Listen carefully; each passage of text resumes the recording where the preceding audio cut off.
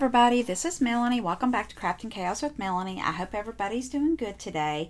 In today's video, I'm going to show you how I finished up the project um, on Friday's video.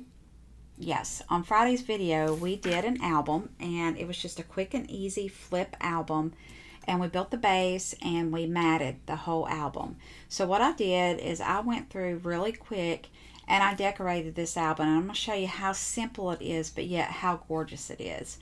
All I used was this Silent Night and I got this from Michaels I want to say last year. This was a hot buy. Actually this is from 2021 but I think I did get this last year so I think it came out later. So this is what we got. Isn't this gorgeous? So pretty. So let me show you what I did. What I did is I took one of the sheets and I cut all these florals out right here. I cut the florals out, the poinsettias, and I cut, cut out the little greenery right there.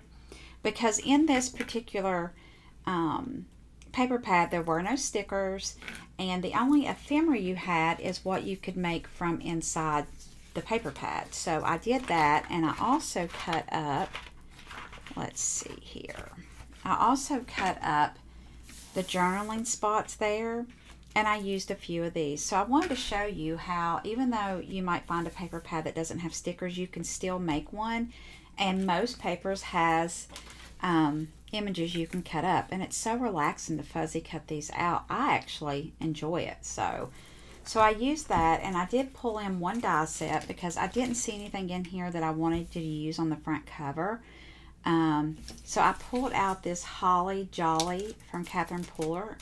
And that's really it. That's the only thing I added besides ribbon. Everything else was from this paper pad, um, except for the ribbon, this, and the um, cardstock, obviously. Okay, all right, so let me show you what we did. Oh, my goodness. If you are a non-traditional Christmas junkie like I am, I have to make pink cards every year. I love it. Pinks and purples, I think they're gorgeous. So this is definitely a pink theme. And all I did was cut the Holly Jolly out and I did put that on foam. And I wanted to keep this simple. I just, I want this album to be simple so you can see how easy it is to make such a simple book. And it turned out so pretty. Anybody would love to get this.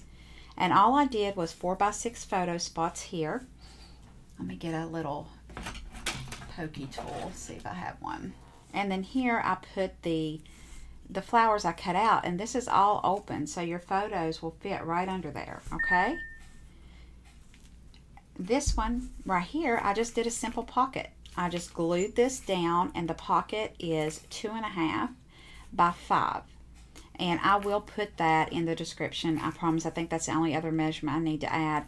Um, this right here, I put a strip of the mirror cardstock, and I had to go back and put another strip of paper because I used liquid glue under that mirror cardstock. And I will tell you, liquid glue under mirror cardstock is going to show through. There is nothing I have found that eliminates that. It, it You can squish it, you can burnish it, you can do whatever you want to do, and you're still going to see those squiggly lines. And I forgot about it. So I went back and I put these little strips of paper on there. And this is just from the ephemera.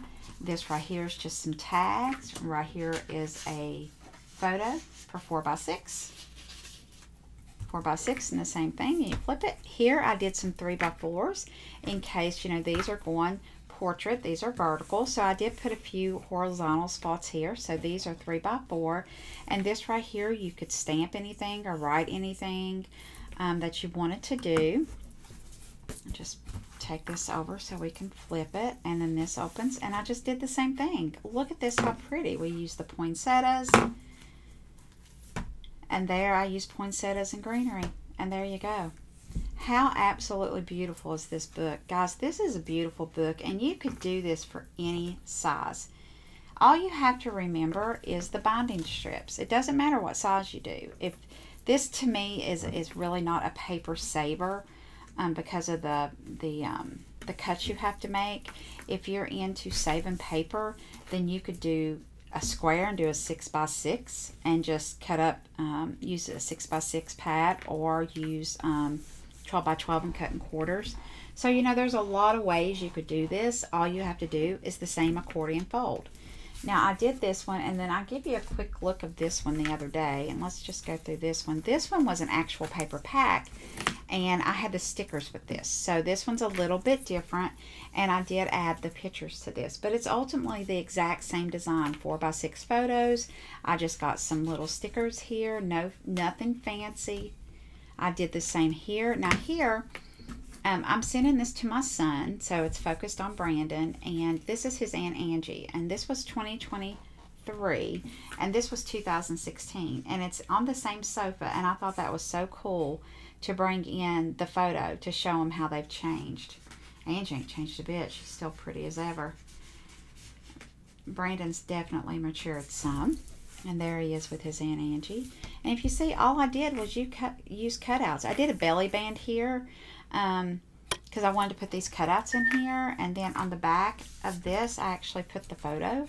So you have a photo here and you have a photo here. I just think this looks so good. Imagine giving this as a gift, taking your photos from last year and making a gift like this for your loved one.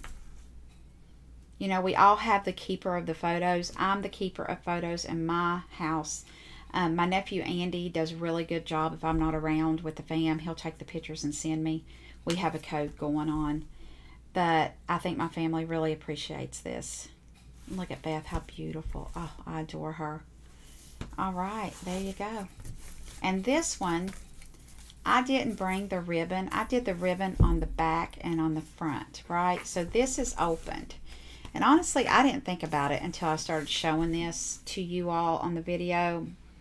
And so in hindsight, I just decided to take the ribbon and just do it on the back and bring it around like I showed you in this video. Alright guys, I know this is a quick video. I just wanted to show you the end of it. And what I'm going to do next is this paper pad right here. I have a lot of paper left guys. This was 24 sheets of 12 by 12 and I'm going to bust this paper pad. So the next video you have will be of all the projects that I'm doing with this paper pad. Isn't it pretty? I'm not putting this back in my stash. I'm going to use it up. So I'm going to do some cards. I'm going to do some scrapbook pages. Um, and I will be back on to show you what we come up with, okay? All right, guys. I hope you enjoyed this video. If you did, be sure to leave a comment and like. I really appreciate that. And again, if you know any crafty friends and you want to share this video, I would really appreciate it. Guys, I hope y'all have a great day and I will see you next week. Bye.